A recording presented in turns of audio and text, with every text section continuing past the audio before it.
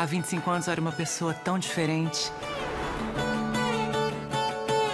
O que será que minhas amigas vão achar de mim depois de tanto tempo? Em setembro, estreia sua nova novela das seis. Elas por Elas. Amizade supera tudo.